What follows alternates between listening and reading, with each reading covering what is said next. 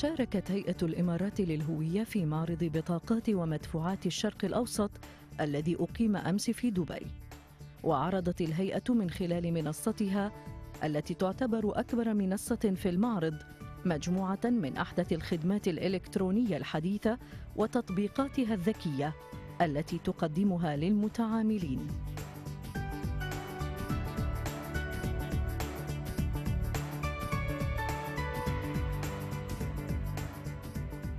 حيث قدمت جهازا إلكترونيا حديثا لمساعدة كبار السن وذوي الاحتياجات الخاصة في أخذ البصمة والصورة الشخصية وتعبئة البيانات اللازمة لاستخراج الهوية من منازلهم دون الحاجة للذهاب إلى مراكز الهيئة.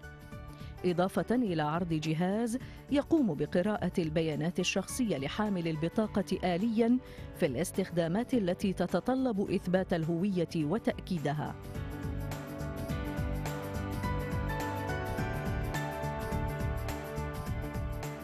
تحرص هيئة الإمارات للهوية وبالاعتماد على أحدث وسائل التكنولوجيا للمساهمة بشكل فاعل وحيوي في مسيرة التنمية والتطور الاقتصادي والحضاري الذي تشهده الإمارات وتسعى جاهدة إلى دعم حكومة الدولة بسجل سكاني شامل ودقيق يتميز بأعلى مستويات الأمان.